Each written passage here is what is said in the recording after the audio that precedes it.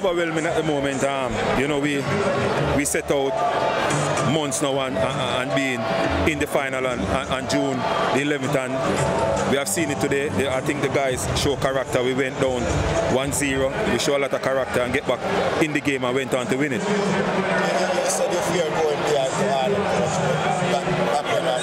Some team fathers. General.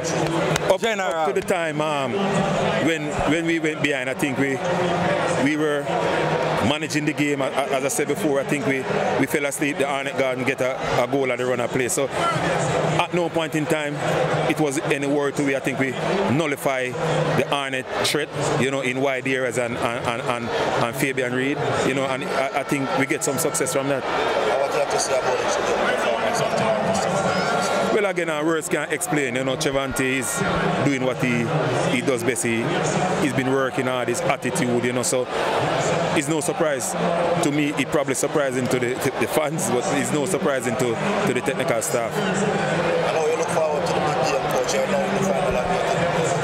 Well, again, um, well, again, it's not who who we want to look forward to. Um, Mount Pleasant is in the final, so I don't know who want to come and play us.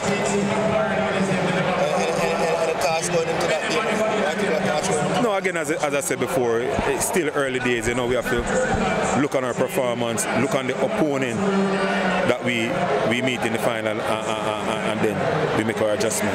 What did it mean to lift that kind of back in the center? Well, as I said before, we set out um, June 11. I think the fans, the fans deserve it. You know, as I said, the technical staff have been working hard. The ghouls, Mr. and Mrs. Ghoul, I think they deserve it. So it's just we to carry it to the last.